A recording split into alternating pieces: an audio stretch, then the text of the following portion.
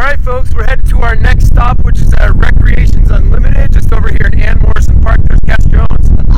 Um, so here's the deal: um, the Boise Bicycle Project. We do not want you to donate to us today. We want you to donate to the nonprofits that we're visiting.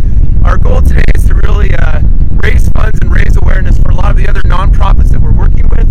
We have a capital campaign going on right now. Well, not today. Today's the only day it's not going on. So if you want to donate to us, um, please do, but please do not do it today.